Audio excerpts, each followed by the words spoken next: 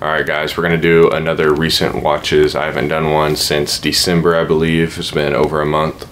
So we got five movies to talk about today. Uh, two of them are re-watches. I just wanted to put them on there because I really enjoyed the rewatch. I haven't watched them in a while. Um, so I wanted to add them to the list. Um, I did watch a lot more than five movies since my last recent watches, but I only want to add like the highlighted ones. Um, it'd just be it'd be so much to add all the movies that I've watched since then.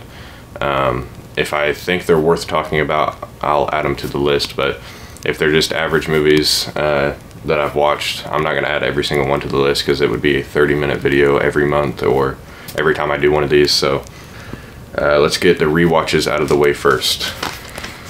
First one is The Shining, and I'm aware that I'm in desperate need for an upgrade on this. I definitely need to get the Blu-ray. Um, quick thoughts on Doctor Sleep. I think it's all right. Um, I watched it twice, but it's all right. Um, but The Shining is what I rewatched. Um, I, I, mean, it's almost a perfect movie to me. I love this movie. Um, me and my girlfriend went on a trip for her birthday. We went and stayed in a cabin for a while, and I thought it was the perfect setting because her birthday's in the wintertime. Uh, I brought a lot of winter-based movies. I brought The Thing. I brought Dumb and Dumber, which I think is a winter-based movie because when they get to uh, Colorado. But anyway, brought The Shining, rewatched it there, and then I rewatched it again when we got home because I wanted to rewatch the scene with Delbert Grady and Jack in the bathroom whenever uh, Delbert is cleaning off his jacket. I think I, I actually love that scene. It's my favorite scene of the whole movie. I don't know why I never noticed it, but within these re-watches, that scene really stuck out to me and I just love that scene. It's done so well. And I love, uh, I can't remember his name, Philip Stone playing Delbert Grady. I think he did amazing in that scene. I mean, really, if you haven't seen this movie in a while, go back and watch that scene. I don't know why it stuck out to me so much this these recent re-watches, but it really did, and I, I don't know, I just love that scene so much. My girls, uh, they didn't care for the Overlook at first. One of them actually stole a pack of matches and tried to burn it down. But I corrected them, sir. And when my wife tried to prevent me from doing my duty, I corrected her. So obviously, um, I'm giving I think Shining is a five star movie. I know a lot of people don't like it. They think it's slow or they don't like uh, how Stanley Kubrick films, uh, his style and whatnot. Um, I don't want to say I'm a super big fan of Stanley Kubrick, but I think he did The Shining very well. I haven't seen a lot of his movies, but uh, I think he did The Shining very well. So I love this movie. My next rewatch was Misery. Uh, this is also a movie that I brought on the trip because it's obviously winter setting.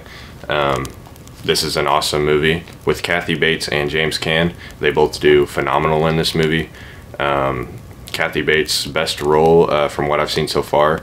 This is definitely her best best performance as Annie Wilkes. And then James Caan, I haven't seen a lot of his movie, but uh, his portrayal of Paul Sheldon is awesome. Uh, I just love this. This is a perfect wintertime movie. It's super like confined it's snowing. I don't know. There's something about it. It's pretty much just the two characters of the whole movie. Um, something about it. It's just perfect. Every time it's snowing, which it's a snow day today. Um, I'll probably throw it in at some point today. I got the thing rolling on the TV over here actually right now. But uh, I always watch snowy movies when it, on snow days, and this is definitely at the top of the list, along with The Thing and The Shining. Uh, watched The Shining this morning, actually. Love this movie. Uh, it's a five star movie for me. Um, definitely worth worth the watch or worth the buy. If you haven't watched this movie, go out and buy the Blu-ray and give it a shot because it is awesome. Okay, so for the past month, month and a half, I've been kind of on a Western kick. Um, I've always liked Westerns, but I never got into watching a whole bunch of them.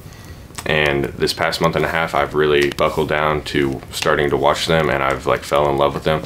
Um, not like I'm going out of horror or anything. Horror is definitely still my top uh, movie genre, but I've definitely put them to the side uh, a little bit for this past month, month and a half with watching westerns. and I've watched quite a bit of them, and I still have a lot on my watch list. Um, although now it's kind of I can feel it turning that I'm getting back into horror a lot more. I can tell that I'm slowly turning back to horror, um, so it'll go back to normal here pretty soon. But uh, definitely still have a lot on my watch list. I do want to show this real quick. These three movies are on my watch list. I haven't seen any of them. Uh, it is The Searchers, Wild Bunch, and How the West Won. Got this three pack for Christmas, so definitely gonna watch those. Those will probably be on my next um, recent watches. So that it's not I haven't watched them yet, but this one I watched uh, Pale Rider, Clint Eastwood. Uh, Clint Eastwood is my favorite Western actor uh, as of right now, and I wanted to watch more of his movies, so I got this at Vintage Stock. Um, just got the DVDs for these westerns. I don't really care about having all of them on Blu-ray because, first of all, they're hard to find on Blu-ray, and I don't think it really matters that much. I mean, as far as westerns go, I'll, i go for more quantity over quality. Um, my horror movies, I want Blu-ray, but anyway, I enjoyed this one. It's about uh, Clint Eastwood is a preacher, or he acts like a preacher, I guess, um, and he kind of helps this uh, group of gold miners out uh, with this other group that's trying to take their uh, land over and kick them out pretty much. Clint Eastwood helps them out, uh, and it's a, just a fun action movie, uh, action western. It came out in uh, 85, and I believe Clint Eastwood directed it as well. Yes, produced and directed by Clint Eastwood. So, it's a really good movie. I enjoyed it. I have it marked down as a three star, but I'm actually going to up it to a four star. Um, I really enjoyed this movie. I don't see any reason why it should be below four. Um, it was really entertaining. The third act was really cool, uh, super hyped up and intense. So, four star movie. This is a Western I got for Christmas. Um, High Noon. It is rated in like top 30 greatest movies in America of all time. So I definitely wanted to watch this one. And it did not disappoint. I really, really liked it. It's starring Gary Cooper and Grace Kelly. Gary Cooper does awesome. Uh, he's like a sheriff that's retiring, but he comes out of retirement because these bad guys are coming to the town that he was sheriff at. And he's trying to gather up deputies uh, within the town. Nobody wants to help him out. Nobody wants to be his deputy because the guys coming are super bad and uh, they're known for being very, very good. So pretty much at high noon, these guys catch the train and come into town, and Gary Cooper uh, has to fight them. So it is really hyped up, really cool, and I really enjoyed it. And I will stick with three stars on this one, just because it might drag on a little bit, but honestly, if I watched it again, I might bump it up to four stars. But three stars is still a good movie to me, and definitely want to rewatch it, uh, and I enjoyed it, so really good. Okay, final one I want to talk about. It's another Clint Eastwood. Oh, not the final one, actually, I have one more after this. It's another Clint Eastwood, uh, A Fistful of Dollars. I got this at Vintage and I actually got Good, Bad, and the Ugly as well, but I couldn't find For a Few More Dollars, which is the sequel to this one, and Good, Bad, and Ugly is the third one. But um, I enjoyed Fistful of Dollars. It definitely wasn't what I thought it was going to be.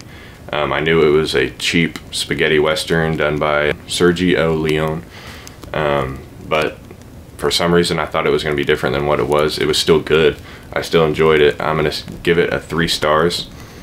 But um, Clint Eastwood does amazing in this. The opening to this movie is phenomenal. It's probably one of the greatest opening scenes I've ever seen. Um, and I really enjoyed it, and I can't wait to finish off the trilogy because obviously it's one of the most classic trilogies of all time, Western trilogies.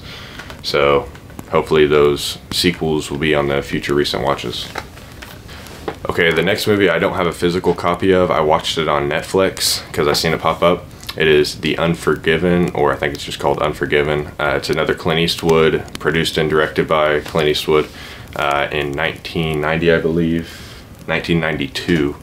Um, and I had to add it to this list because it was amazing. Uh, I'm gonna give it a five star. I mean, this was a really, really good movie.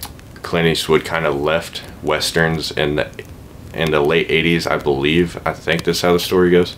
And he kind of was sitting on this script for a long time, and he wanted to wait till he was older to so he could play in it as the main character. So he was sitting on the script for a long time, and then he finally thought it was time to make it, so he gathered up the group. I mean, this movie has a pretty crazy cast. He has Morgan Freeman in there. It's just an awesome movie. The ending is great. Uh, the build up, uh, I mean, everything. The beginning, middle, end is it's a great movie. So I had to add it to this list.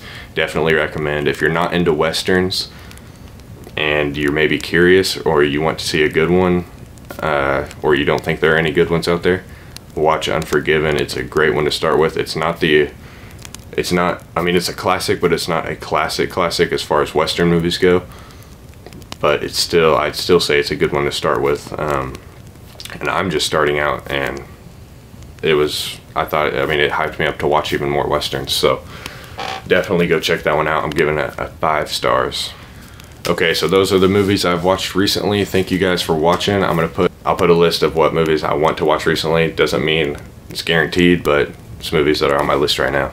So thank you guys for watching, and I'll see you in the next one. See ya.